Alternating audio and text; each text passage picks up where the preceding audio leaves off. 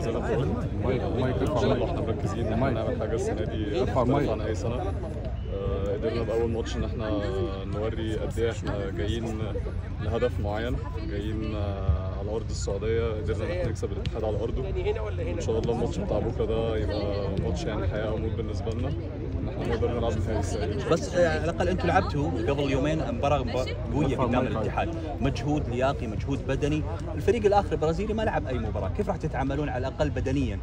لا إحنا متعودين يعني. الأهلي متعود إن إحنا بنلعب كل يوم كل يومين ماتش.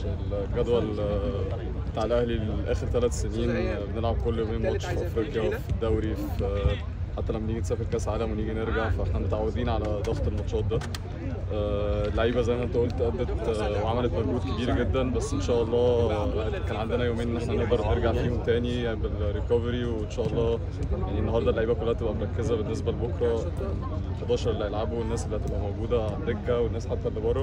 إن شاء الله كلنا نساعد بعض إن إحنا نعمل كبيره إن شاء الله. كابتن كابتن بسألك بس يعني مسؤولية مهمة جدا بالنسبة لكم. الفريق العربي الوحيد اللي يتواجد من خلال هذه البطولة يحملكم مسؤولية أكيد. بأن تحققون النتيجة الإيجابية وتنتقلون للنهائي ها؟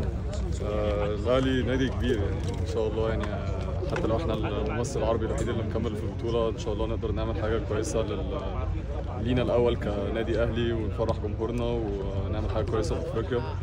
و كتاريخ الأهلي إن شاء الله تبقى حاجة عمرها ما حصلت إحنا نلعب نهائي إن شاء الله.